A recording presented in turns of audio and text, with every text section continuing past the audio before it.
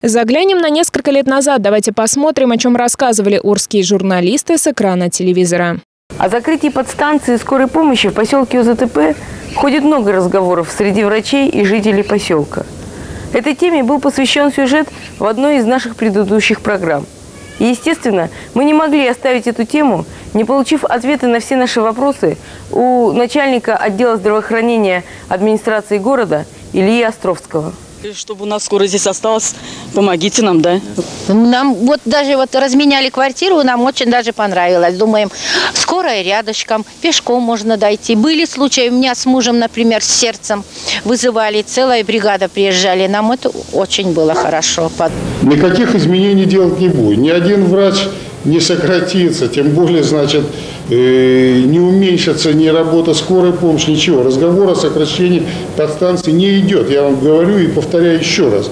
И не, не, не надо как-то вот так меня подталкивать к вопросу, что принято какое-то решение.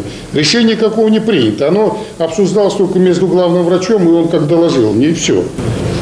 Мы с ним нормально работаем, очень грамотный специалист, кстати, как руководитель, много лет работает э, в станции скорой помощи, и его предложения не всегда очень деловые, очень конкретные, и я не думаю, что главный врач той службы э, ну, как говорится, на себя будет набрасывать петлю и ухудшать свои показатели. Э, не надо быть большим католиком, чем Папа Римский, да?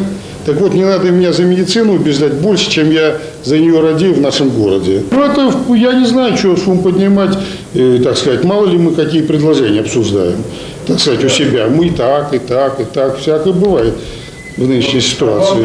Не идет, это не продуманный вопрос у нас, мы его не... Было только, я опять, третий раз вам говорю за это, что было только предложение, мы его не продумали. Если будем продумать, создастся комиссия специально. Закрытие по станции речи не идет. Скорой помощи мы создаем неплохие условия, я считаю, сейчас работать. Мы обновили автомобильный парк у них неплохо.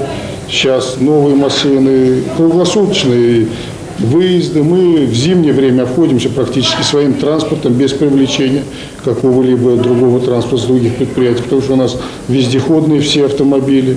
Спасибо, как говорится, главе администрации, тот и, как говорится, из области нам шесть машин дали УАЗа вот в ближайшее время. В наш первый приезд на советскую подстанцию скорой помощи у меня сложилось впечатление о том, э, что на медицинский персонал со стороны главного врача господина Чайковского оказывается давление.